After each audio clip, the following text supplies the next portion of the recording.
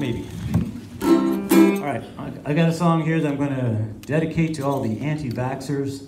They unfortunately couldn't make it tonight because they're they're too busy fighting for their freedom to infect everybody with a horrible disease.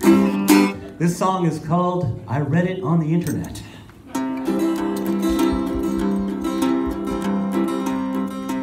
It makes me so mad when people tell me what to think just because they claim they're educated. All them books and papers are a load of bunk to me. Intellectuals are overrated. I wait for my tribe to tell me what I need to know. They make me feel like I belong. When I want the straight goods, there's a source I always trust. So far, it has never steered me wrong. I read it on the internet, so it must be true. I done my own research because I ain't dumb like you.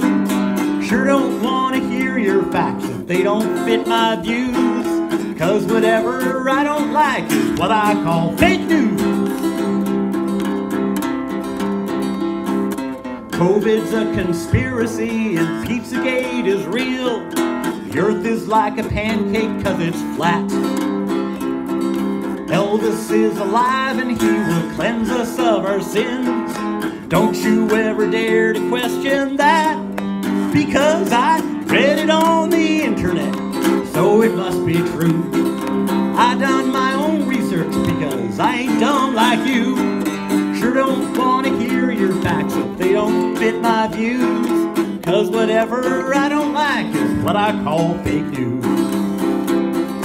You can shove your science where the sun don't shine. Cause I'm sticking to the party line. I read it on the internet, so it must be true. I done my own research because I ain't dumb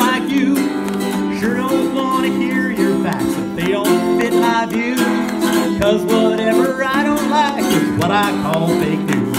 Yeah, cause whatever I don't like is what I call fake news.